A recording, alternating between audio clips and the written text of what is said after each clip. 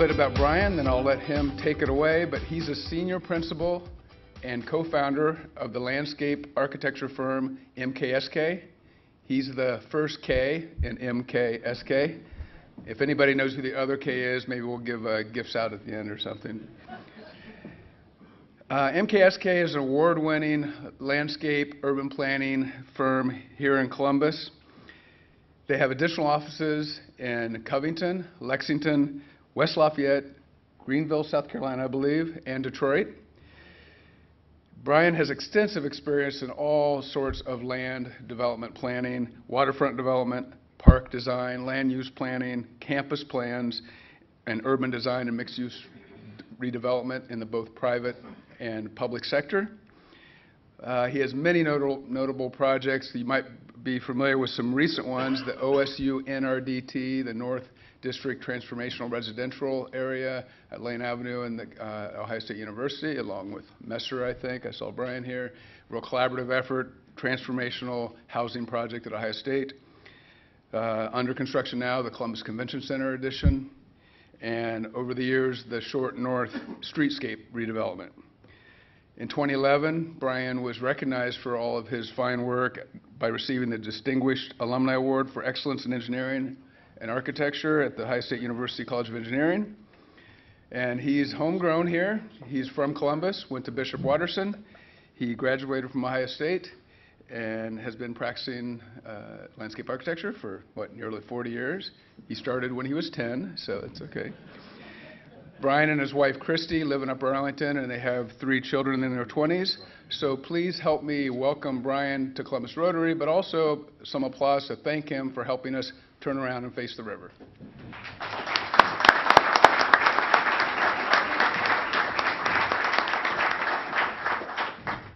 Uh, it's great to see a lot of uh, familiar faces and friends and colleagues here. Uh, I want to start this all by saying, before I show you all these pretty pictures of the riverfront and how it has transformed over the last 20 years to make you understand it is not my doing uh, and not my doing alone. I, my fingerprints are on portions of this redevelopment, um, but the planning and the development, uh, construction, the financing uh, goes well beyond me. I was just saw Mr. Nitschke back there uh, a little bit ago. He did a plan in 1972. I was in high school in 1972. So there were others who were paying attention to what this riverfront could be back then. Uh, Mr. Weiler sitting here in front of us is one of the uh, key members of a fine development community in this city that has done tremendous things. So it isn't my efforts. It's, it's City of Columbus. George Arnold was my first client on a Columbus Riverfront project when he was the development director a couple of mayors ago, huh, Georgie? Um, and uh, and the, the leadership that Columbus Downtown Development Corporation has taken, and the Columbus Partnership, and the great corporate citizenry we have here in American Electric Power, and the Dispatch, and Battelle, and all the folks who have stepped up to help finance and, and push this forward. So I'm happy and thrilled and honored to have had a role to play in it, and I'll try not to embarrass any of those folks I just named off as I represent their interests. Uh, the downtown riverfront. Uh, what we think of the downtown reach, this confluence of, of uh, Scioto and the Olentangy, this site not being unimportant, I'll come back to that in a moment. Uh, many moons ago, back in the mid to early 90s, the entire riverfront was studied from The Ohio State University through, uh, through the downtown district to the Scioto Peninsula and beyond, and portions of the Scioto. And that was, uh, again, a couple of, couple of mayor, mayoral administrations ago. Uh, George Arnold and others will recall the uh, Columbus Riverfront Commons Corporation, which first uh, institutionalized a look at the Columbus riverfront. Uh, but even further back to, to that, when my father was a child here, this is a view looking to the west from what was probably the Deshler Hotel. Not quite sure. The LeVeque Tower wasn't there yet. But this is shortly after the 1913 flood that did uh, wonders for urban renewal back uh, a few generations ago by taking out bridges and taking out a lot of, of uh, less than desirable housing and, and uh, development on the riverfront. But this really launched uh, the city of Columbus's serious look to the, uh, to the river and the development that happens adjacent to it. My involvement begun again back in the mid-1990s with Riverfront Commons Corporation looking at the river as a whole. And this is just a smattering of the successive development, design, construction projects that have happened to get us to where we are today, and we're not done. Getting close, but not quite done. Riverfront Commons, again, first said, let's take a look at this river. You can see this is a very wide river. This is how the river used to look before the Lowhead Dam was, was removed at the uh, Main Street Bridge. But it said, let's, let's turn our faces to the river, not, open, not, not treat it as an open sewer, but a place to recreate and to connect people. Pretty commonsensical stuff from an urban planning standpoint, but it's amazing how it took America a few generations to really understand what watercourses can be in, in urban settings. Europeans figured it out years ago. This document was one I produced years ago that was really looking to the private development side of things, following public investment in the riverfront and the infrastructure that that river represents. How could our developer community latch on to some of these, what I call beachfront properties that are now adjacent to a, a newfangled river and do, uh, do their work in terms of generating quality of life and uh, uh, renewing some of those underutilized sites. My first involvement began with Genoa Park, which is the frontispiece to the COSI project. As COSI was under construction, the city of Columbus turned to the river and said, gee, this is probably not what we want to put in front of this magnificent new modernist piece of architecture, which is the COSI facility. So many of us will recall that floating band shell that a couple times got loose and actually floated. Um, so I was, I was happy to see it go all the way downstream, quite frankly. Uh, but we took the opportunity, again, with some great architects, not the least of which is Moody Nolan, and engineers uh, in Burgess and Niple, to extend the front of that park out into the river, lessen the slope, create accessible routes for vehicles and for people, and to make a real place for a stage to be brought in and instead of floating downstream in flood waters, to be able to be pulled back out before the flood gets there. So, seemed pretty commonsensical to me. But this has been uh, a part of finishing off the, the park within which COSI sits, and, and you'll see in future slides that the west side of COSI is uh, underway as we speak. It has become a great place for our festivals and summertime activities. There are absolutely magnificent views of downtown Columbus from that vantage point. Th we're, we're used to looking across the river from east to west. Sit on the west side and look east, and we have a very impressive, magnificent skyline. The Arena District Master Plan followed on shortly after that. As you know, the City of Columbus has been a key partner with Nationwide Realty Investment and, and uh, Dispatch Printing and other private investors, AEP uh, to master plan and develop that key piece of property. Gee, many of us remember that. Was never an occupant, but I certainly remember driving, driving past it, parking lots and uh, old, old buildings. This is the master plan and plan view. The key and first part of the of the master plan development was the construction of McPherson Commons, and that was to physically link the heart of the arena district to the riverfront. And once that piece of ground was developed, all of these surrounding properties came online rather quickly. We all know the success the Arena District has been, private development and, and public investment. Uh, it is not just locally known or regionally known. The Arena District is nationally known. I have the great good fortune of traveling about the country doing this type of work, and Columbus is on everybody's lips. North Bank Park, again with contribution from AEP and others. Again, some of us remember this view of the riverfront, not terribly attractive. That's what it looks like following development. Connection of bike trails hither and yon all the way up the Olentangy corridor, up Scioto incrementally. That bike path is, that trail system is constantly being addressed. So any one of us living in parks, parts north or northwest can now get on our bicycles and, or rollerblades if I could even do that, certainly on a bicycle and find our way all the way downtown, all the way south of downtown. So it's a magnificent trail and greenway system. A great place for special events. There's no shortage of places now on our riverfront for entertainment venues with all the magnificent festivals that we have.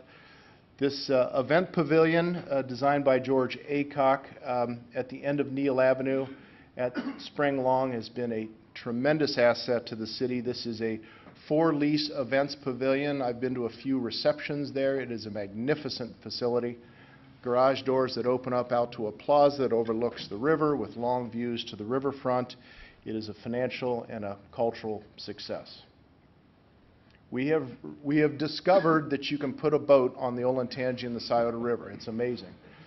Um, And there is quite a lot of activity on that river. Again, as I, as I stated before, we consider these riverfront developments as being beachfront. We don't have the mountains of Denver and we don't have the beaches of, of Miami, though some of those are going underwater, I come to understand. But this is an opportunity for us to develop green space and public amenity that is an incentive uh, and a quality of life addition to private development. The Audubon Center, again, many of us will remember this, the old Lazarus Warehouse. I think I bought a refrigerator there back in the, back in the day. And the impound lot, I won't tell you about my stories of the impound lot, but I know it on a number of fronts. But, uh, and my first job uh, was with the City of Columbus in 420 West Whittier as part of Recreation and Parks. And this is after restoration. All of that construction was removed. This was a brownfield site, some uh, fairly serious environmental considerations, but there's stormwater management devices, there's sequestered ponds, which have got some groundwater issues to them, uh, complete trail system, uh, play area, and then the Audubon Center, which has been a magnificent addition to this community. That's what it looks like in its finished condition. We thought it would be great to keep the water tower that was part of the old Lazarus warehouse and turn it into a feature. It has an observation deck on it. I was always hoping that someday we'd put a zip line on that. You won't get me on it, but I think my kids would, would, would, would certainly take advantage of it. But it's a beautiful park, extremely uh, attractive and used. This is a view back to the Audubon Center, designed by Design Group here in Columbus. And the largest freestanding climbing wall in the Midwest. And my kid, this has become a magnet to my kids. They will get in their automobiles and they're in their 20s and they will find their way to uh, Audubon Park and climb on this wall on a Saturday afternoon. This is one of the premier birding opportunities we have in the Midwest, that lower reach of the Scioto River. So these observation uh, decks and also a uh, uh, boat launch area was put on that lower reach as well. The Scioto Mile, maybe the crescendo moment of the riverfront development, but Bicentennial Park is here. The, uh, the Civic Center Drive, Battelle Park is just off of that image, and the previously developed uh, Genoa Park. You can see this river is considerably wide. This is what it was three or four years ago. This flood wall was put in after the uh, uh, 1913 flood as a means of keeping that from happening again. Actually, just pushed the problem a little bit further downstream, but that's a that's the subject of a whole nother presentation. This is Civic Center Drive as it existed before the renovation of, uh, Civic, of the Scioto Mile. And then this is that same view today. Four lanes of one-way traffic moving out of downtown was transformed into two lanes, one one-way in each direction, and considerable pedestrian environment. Something as simple as taking a bench and hanging it from a pergola has become an incredibly attractive feature. Views across the river are, again, magnificent. The, the money shot, as I call it. $42 million worth of redevelopment of that side Scioto Mile, again, of considerable private investment, but uh, public investment as well, and leadership of the uh, Columbus Downtown Development Corporation. So, and Messer Construction as the uh, uh, contractors for it. A, incredibly ambitious project. Many of us have eaten at the, at the Milestone 229, great foodstuffs. Can't, can't ask for a more attractive place to enjoy a, a, a Sunday brunch and listen to the giggling of, of children playing in the fountain. The fountain itself was recently named one of the top 15 fountains in the world, un, unbeknownst to us. We get a letter through the mail that says CNN had taken a taken a survey of world fountains and put the Columbus Bicentennial Park fountain on it. So, God bless them. has been a, a, a regional draw for recreation. This was meant to be an attraction to create, as uh, ex-mayor Coleman used to call it, uh, downtown is everyone's uh, front yard and neighborhood. This was meant to be a draw for downtown neighborhoods. It's a draw for regional neighborhoods. Folks are loading kids into their car and coming to uh, Bicentennial Park to play in that fountain. Again, more um, entertainment venues, movie in the movie on the mile in the park on summer evenings. Uh, the Columbus Arts Festival has has returned down to downtown after a short hiatus out at CCAD's campus.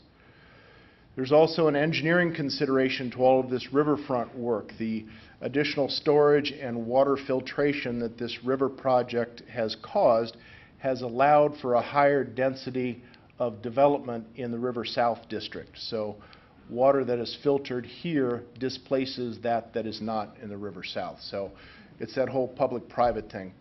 Public investment is parlaying into good, sound private development. And then again, another shot of Bicentennial Park. The, uh, Mayor Coleman had suggested to himself and those that would pay audience, and then ultimately to us, the riverfront work is great. We need more ideas. We need a plan for downtown. And I've been party to countless comprehensive plans that are a lot of words that nobody reads. So um, I'm kind of the anti-plan guy, but I'm the I'm the pro good idea guy. So we thought a good way of approaching this was put forth 10, 12, 15, it boiled down to 12 ideas. Great ideas and projects that are understandable, financeable, and doable, both public and private. And I, I have to go on record as saying, we coined the term drain the swamp long before the incoming administration captured that. So I think they probably saw this presentation somewhere before. But, but, uh, but we kept hearing from everybody during this downtown strategic plan that we need to do something with the river. That's great what we've done adjacent to the river, but the river itself is pretty scruffy, and they were right. Water quality was terrible. The Lowhead Dam at Main Street was causing water to pool and turn even more brown. So our one big idea, number 12, was do something with Scioto and Olentangy River, and we came up with the idea, let's get rid of the dam. There's no reason for the dam to be there any longer. It was an idea of a few generations ago to help with stormwater management, and we've got upstream flood protection in Delaware County, so we don't really need it.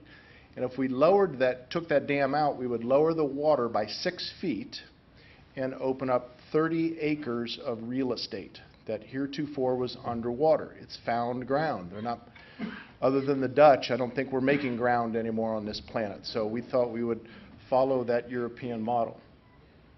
So you can see the hole being punched into the Lowhead Dam. That's Miranova in the background. This is a rendering of what we had envisioned that looking like. This is just prior to the demo of the dam. This must have been after a rain event because that stage is almost covered with stormwater. And it's meant to. The 500-year flood elevation comes up almost to Washington Boulevard. So the whole riverfront is designed to go underwater from time to time. Once the plug was pulled in the bathtub, that's what the Scioto looked like uh, with the mud flats exposed. All of the river uh, channel has been engineered. Stantec Engineering had done all of that work, so there's riffles and eddies and uh, ripples that were designed into it for fish habitat and for slowing down the velocity of the river flow. And that's what it looks like after 25 acres of sod was put down. Quite a transformation. Big pool, empty bathtub, new park space. Again, the money shot shortly after opening, looking to the south. These are some of the development projects that are happened adjacent uh, with some public investment, but most, mostly private money. Downtown is a very attractive place, not just for millennials, but for but for old guys my age who want to uh, maybe downsize and be closer to entertainment venues. Again, as I said, we've rediscovered or maybe discovered the, uh, the river. This water is crystal clear. You can stand on the Main Street Bridge and the Broad Street Bridge and look straight down and see the bottom of the river. We haven't been able to see the bottom of the river in, uh, uh, in 200 years. OSU rowing team, that's a pretty romantic shot. This portion of the flood wall was rebuilt, moved into the river. That's to help with uh, uh, attenuating some of the scour that the water would do on the bank. It would tend to wash that bank out, given that oxbow. And then Main Street Bridge, again, a signature inclined arch cable stay bridge. That was DLZ Engineering in Columbus that designed that. Uh, And the Town Street Bridge beyond, the main, uh, the Broad Street Bridge beyond that. So we've got this series of beautiful, different bridges that all work together as a family. uh, And then the riverfront connecting the whole. Currently, uh, as many of you know, the, uh, the National Veterans Memorial uh, is, is under construction. Uh, Senator John Glenn, God rest his soul, was, uh, was instrumental in uh, pushing that along with the Columbus Partnership, and their efforts are, are greatly appreciated by a Columbusite like me. Uh, Also, this is the, currently the parking lot of Veterans Memorial, 620 cars, and then future private development that the City of Columbus and CDDC is underway of uh, uh, incenting as we speak. So current plans are for that 600-car garage to go underground with a ramp that leads to it and create what is yet another park that is connected to the riverfront uh, and to create a green space between the uh, Veterans Memorial and what will be some other cultural facility on what is the Health Department site as we commonly know it in Columbus. So now we're about to realize the original notion of COSI, of having COSI sit within a park, not sit on the edge of a river, but to sit within a park. So it will be surrounded by green space, and it's functional green space as well. It's got, it's not just grass and trees. There are things to do within these parks. And then we all know the development activity and interest in East Franklinton. Uh, Those folks, those, those neighborhoods in Franklinton and East Franklinton, think of the riverfront as being their neighborhood park because it is their neighborhood park. I've got to drive to it or ride my bike to it, they can walk to it. Very, very important aspect. And that's it. That's an encapsulation of the riverfront. I'll be happy to answer any questions that any of you may have.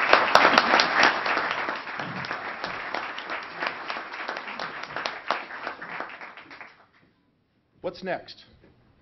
Uh, What is next is what's currently under construction, and you all have probably observed the big hole in the ground uh, of what used to be the surface lot west of COSI. Again, Columbus Downtown Development Corporation is running point on that effort. Uh, Bell Street, some of the other streets within East Franklinton, on the peninsula, as I call it, everything that's east of the railroad tracks. Uh, Portions of those streets are being rebuilt very soon. And then private development is being invited to come speak to this piece of property that is uh, west of Bell and east of the railroad tracks. So again, the city is incenting that development with new infrastructure of streets and utilities, and private, uh, the private community will come in and build um, mixed-use development. What moves up here? How do you see this? Well, funny you should say that. That, that removal of the dam at Main Street affected the water level in downtown on Civic Center Drive, but as rivers slope from low end to high end, uh, therefore they run. By the time the river gets just past this site, it ceases to have an effect with the water level moving further north. But you can see how we've exposed mud flats here. Those still are within the floodway, so we can't go out there and necessarily build a building on that. But there's tremendous opportunity for other recreation things to happen right at our feet. Uh, Again, you can see the, how clear some of these waters are running. Uh, And this site itself is- also has uh, tremendous long-term possibility. This facility has been extremely successful, and the views are absolutely tremendous. But this confluence site, I'm sure, will be linked as part of a larger parkway system going up both river corridors. Sir? Have you ever considered pushing a canal into Franklinton and creating a river walk like San Antonio has? Have not. There used to be a canal that was along what is Short Street um, in the Brewery District, where my office is. I do know many moons ago that um, uh, Harrison Smith used to talk of a connector uh, across from Neil Avenue to the peninsula and, and then through to the Brewery District, virtually where, um, uh, where Miranova is today, as a connector of those. But I have not thought of that canal. I have not. Ma'am? Um,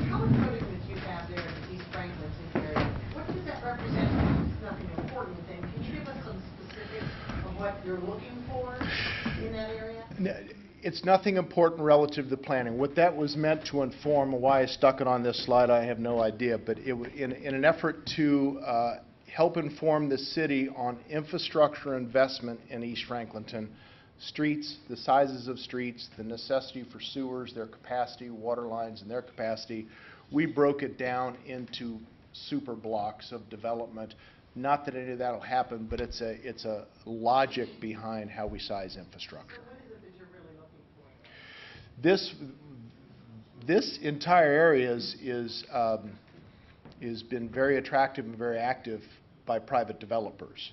The- the- housing, I mean, residential. Yep, it's, it's meant to be, the, the- the city had commissioned a master plan for the Franklinton neighborhood, East Franklinton, and in very um, general terms, they chose it to be a, more of a bohemian arts district, not something to compete with the Short North, which is very sophisticated from a restaurant and gallery standpoint, but a place that's more, has a little bit more urban grit to it, a a Soho, or maybe what, what Greenwich used to be uh, 40 years ago. It's pretty hoity-toity. Some of that there.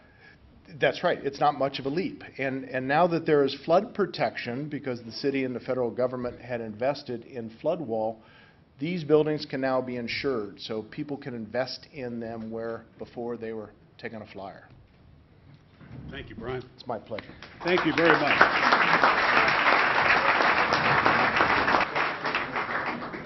Thank you, and this meeting is adjourned.